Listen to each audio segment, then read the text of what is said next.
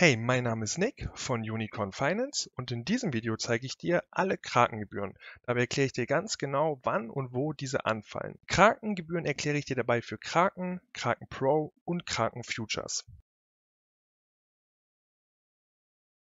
Falls du noch keinen Kraken-Account hast und dir gerne einen erstellen möchtest, mach das am besten über den Link unten in der Videobeschreibung.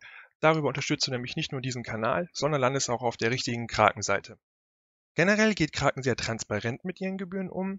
Diese werden auf der eigenen Gebührenseite transparent ausgewiesen sowie auf diversen Supportseiten ausführlich erklärt. Auch innerhalb der Plattform werden Gebühren immer transparent angezeigt, wenn diese anfallen. Lediglich die umfangreiche Gebührenstruktur und der komplexe Aufbau der Plattform kann auf den ersten Blick überfordern. Um die Krakengebühren zu verstehen, ist es deshalb hilfreich zu wissen, welche unterschiedlichen Angebote Kraken separat voneinander anbietet, denn jeder Teilbereich bzw. jedes Angebot von Kraken besitzt nicht nur eine eigene Oberfläche oder eine eigene App, sondern eben auch die eigene unterschiedliche Krakengebühr. Kraken teilt sich dabei auf in Kraken, Kraken Pro, Kraken Futures und Kraken OTC. Wenn nur von Kraken geredet wird, ist damit im Normalfall nur das Instant Buy Widget in der Weboberfläche gemeint oder die separate normale Kraken-App. Darüber bietet Kraken lediglich den einfachen Handel von Kryptowährungen an. Die Oberfläche ist dabei besonders einfach gehalten, um die Zielgruppe anzusprechen, welche eben möglichst einfach Kryptos kaufen möchte. Dafür gibt es hier eine höhere Gebühr. Das Instant Buy Widget ist erreichbar, sobald man in der Weboberfläche angemeldet ist, indem man einfach nur noch hier oben auf Buy Crypto klickt und dann landet man hier eben auf der einfachen, benutzerfreundlichen Weboberfläche, eben diesem Instant Buy Widget. Das Pendant dazu ist wie gesagt die normale Kraken-App aus dem App Store auf dem Handy. Als nächstes gibt es noch das Kraken Pro Angebot. Dieses ist eben erreichbar über die Trade-Funktion im Webbrowser oder die Trading-Oberfläche beziehungsweise über die separate Kraken Pro App im App Store. Kraken Pro ermöglicht ebenfalls den Handel von Kryptowährungen, bietet dazu aber im Gegensatz zur normalen Kraken-Oberfläche weitaus mehr Einstellungsmöglichkeiten sowie den Handel mit Hebel oder eben das Staken von Kryptowährungen. Die Gebühren sind dabei wesentlich geringer. Die Trade-Funktion ist dabei einmal erreichbar, wenn man hier in der Web-Oberfläche oben auf Trade klickt. Die andere Möglichkeit ist, eben über die Trading-Oberfläche zu handeln. Dazu klickt man hier oben rechts einmal auf dieses Viereck, dann auf das Kraken-Terminal und darüber gelangt man jetzt hier eben in die Trading-Oberfläche, in der man eben auch handeln kann. Das Pendant dazu ist dann eben auch wieder die Kraken Pro App aus dem App Store. Darüber hinaus bietet Kraken eben noch Kraken Futures an, wo man eben Futures auf Kryptowährungen handeln kann.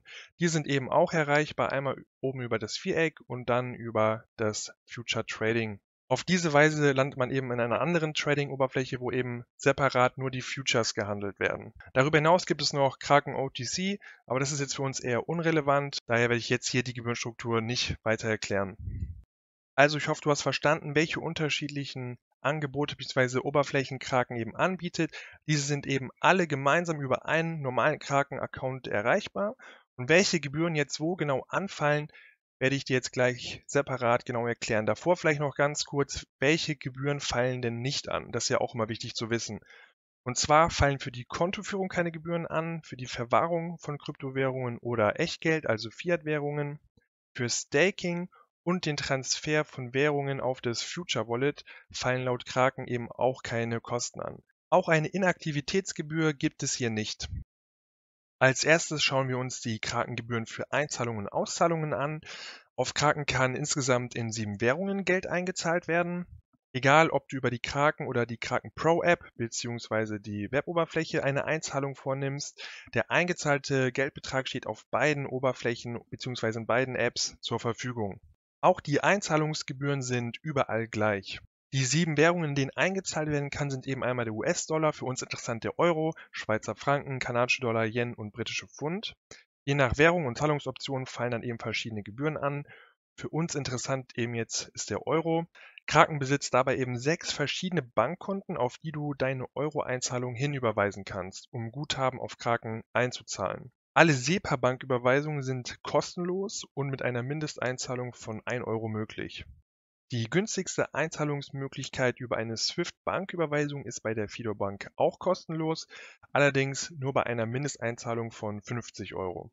Neben der Möglichkeit einer Banküberweisung per SWIFT oder SEPA-Verfahren gibt es eben noch die Möglichkeit über das Instant Buy Widget bzw. die normale Kraken App, aber eben nicht über Kraken Pro, noch die Funktion, eine Master- oder eine Visa-Kreditkarte oder eine Debitkarte hinzuzufügen und darüber eben sofort Kryptowährungen ohne Wartezeit zu kaufen.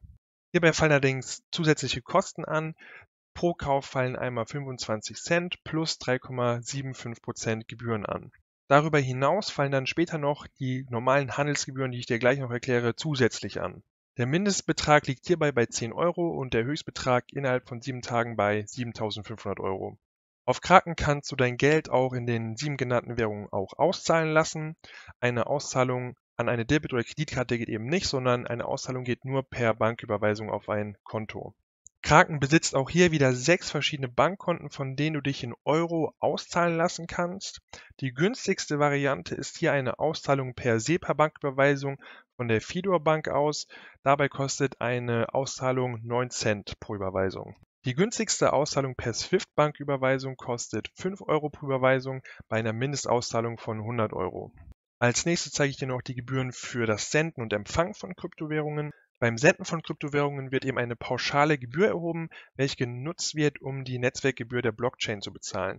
Diese Gebühr ist allerdings eben für jede Kryptowährung unterschiedlich und muss separat nachgeschaut werden. Diese Gebühr kann sich dann eben auch je nach Netzwerkauslastung verändern. Hinzu kommt eine Mindestmenge, die gesendet werden muss, ansonsten funktioniert eben die Sendung nicht. Bei Bitcoin beispielsweise müssen mindestens 0,0005 BTC gesendet werden und die Pauschalgebühr beträgt aktuell 0,00002 Bitcoin. Unter dem Video findest du auch nochmal alle Links zu den Seiten, wo die Gebühren nochmal genau tabellarisch bei Kraken aufgelistet sind, wo du das auch nochmal alles nachschauen kannst. Das Einzahlen von Kryptowährungen ist auf Kraken für die meisten Kryptowährungen kostenlos. Allerdings gibt es auch hier eine Mindesteinzahlungsmenge.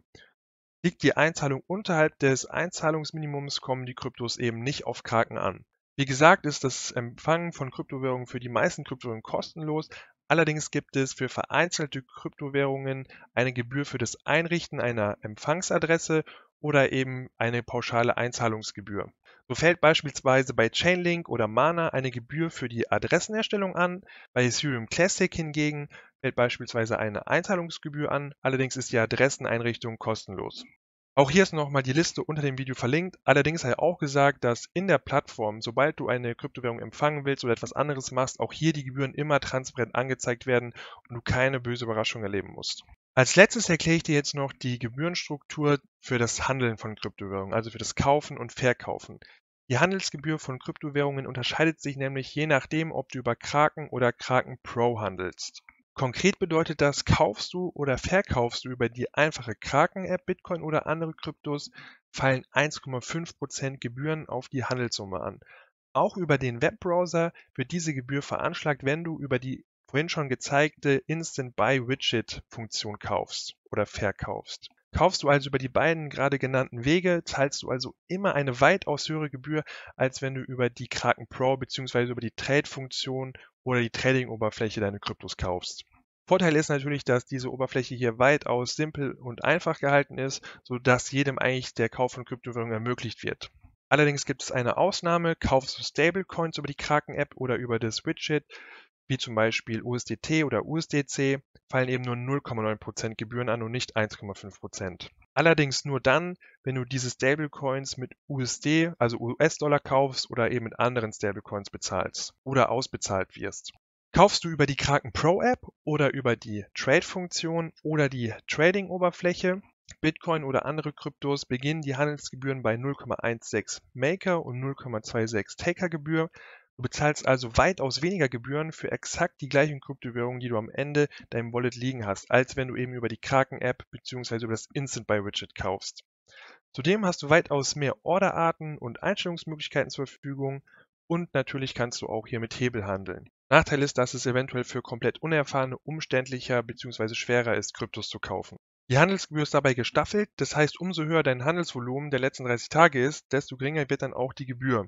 Handelst du beispielsweise in der nächsthöheren Stufe von 50.001 Dollar bis 100.000 Dollar Handelsvolumen in den letzten 30 Tagen, zahlst du nur noch 0,14% Maker und 0,24% Taker-Gebühr. Auch hier gilt beim Handel von Stablecoins als Basiswährung wie USDT oder DAI oder FX Handelspaare wie US-Dollar und Euro fallen geringere Gebühren an. Diese Gebühr beginnt auch hier bei einer gleichen Maker- und Taker-Gebühr von 0,2%. Die Handelsgebühr ist auch hier gestaffelt, das heißt, umso höher dein Handelsvolumen der letzten 30 Tage ist, desto geringer wird auch hier die Gebühr.